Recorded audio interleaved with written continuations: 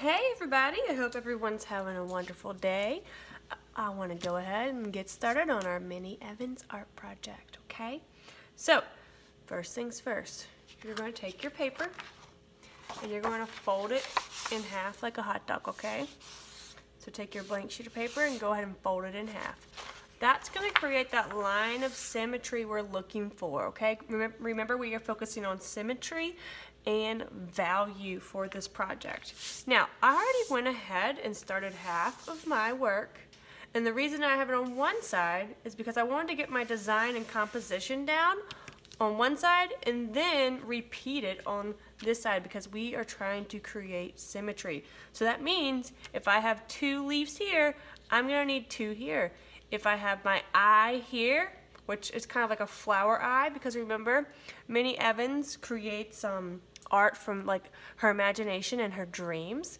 So something kind of different. So I have my flower eye, and I'll repeat that here. And I have my realistic flower that I would repeat, and again, my leaf. Okay? So whatever you do on one side, you have to recreate on the other. All right? Now, I'm going to show you how I did my like abstract flower eye and I'm going to also show you how I did my real, realistic flower, okay? And I believe that y'all can do your own leaves. Your leaves do not have to look like mine, and your art project does, doesn't have to look like mine. All I want you to do is focus, focus on creating symmetry on each side and learning how to use value in your work. Okay, so those are our main goals. Yours does not have to look like mine. Now, you are going to create a border that will represent your art. So what do I mean by that? Now, if I was going to start, you're going to come up with your own border. Remember, we have that line of symmetry down the middle, right? So we're going to be thinking about that. I could start on one side, coming with a crazy wavy line, and you got to repeat that on the other side, okay? And this is where it gets tricky. You might have to do some erasing and sketching back over till it is perfect. And what do you do when you finally get it the exact way you want it, just erase those lines, okay? So try your best to get it as symmetrical as possible. Okay, so that's what I mean by a border. Now, I'm going to show you how I drew my flowers, and then we're going to learn about how to create value in our work, okay? So, Starting off with the flower eye, my kind of abstract flower. I'm gonna think about like a lemon shape first for the eyeball. And I just do a curved line. And then I repeat that and connect it, okay? Now, I'm just gonna do my flower petals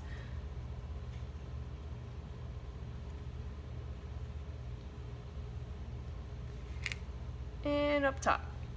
They're kind of like the eyelashes in a way. All right, so let's get our eyelids now.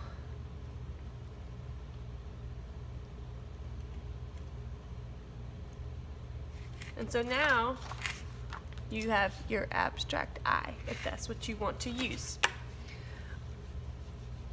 A realistic flower, okay? I came up kind of with a curve. So you can come up, start with your first line and your second. Okay?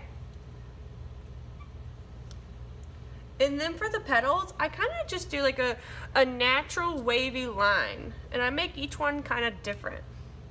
So I'm just kind of coming up and I'm kind of like in a pizza shape, right? Think about a slice of pizza, but it's wavy.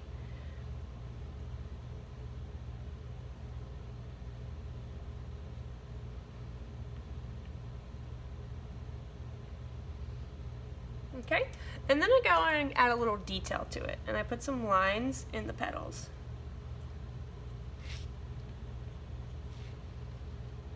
Okay, and then you can add your leaves.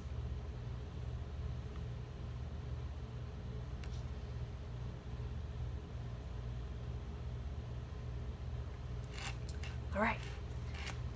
So that's how I did my two flowers, one realistic and one kind of abstract. Now, let's focus on value. You can use color pencil or um, crayons for this project. It is up to you. I have my color pencils. I'm gonna get me a red, a yellow, and an orange, okay? I'm gonna have my flower go from red to yellow. And then for my leaves, I'm gonna get a dark green and a light green. Okay, I'm gonna blend those together to, to create that smooth value. So I'm gonna go ahead and pull those out. And remember, yours doesn't have to look like mine, but let's focus on using value in our work. We'll start with our leaves. I'm gonna start with the center being dark. So I'm gonna go ahead and color this in with my dark green.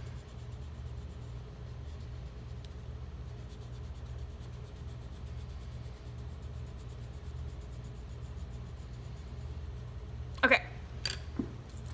Now I'm gonna go ahead and get my light green. And I'm going to begin to color this all in.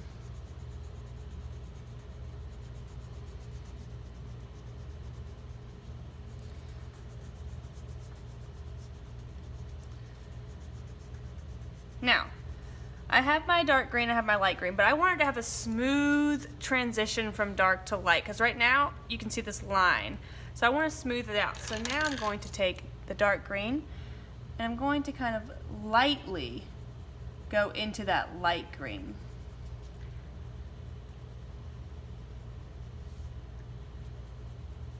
I'm being very light with my colored pencil right now. Okay? And now I'm going to go back over with my light and go into that. And I'm going to be a little bit heavier because this is my lighter color, right? I'm just trying to blend these colors together to create this smooth transition of the value.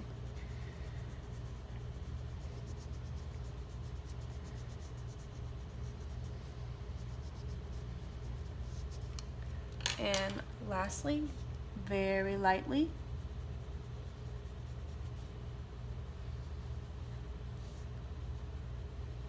I mean, extra light. And again, I'm going to come in and be a little bit heavier because this is my lighter color. And it's going to blend these together nice and smooth. Okay, so we have our leaves done. We can go to the flower now and I'll show you how I would do this. I'm going to start with the ends being red.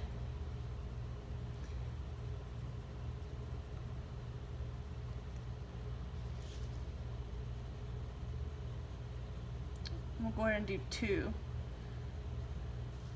Okay, so now I'm to take my orange and go into the red a little bit.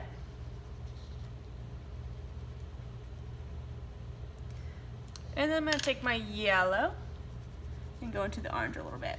Okay? And again, I want to create that smooth transition. So what I'm going to do is lightly take that red into the orange. And take that orange into the red.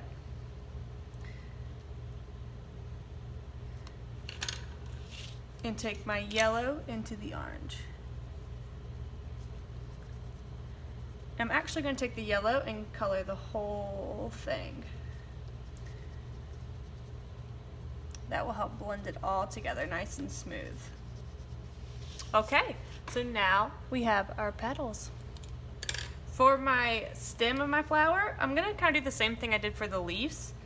I want the center of it to be dark and then it go out to light.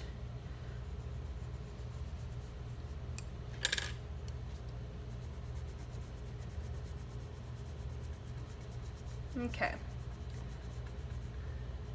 And again, I'm going to come back with my darker color and lightly go into the light, the light green.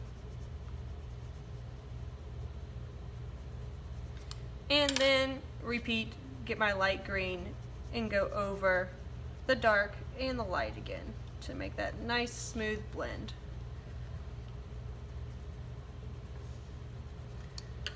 And lastly, one more time.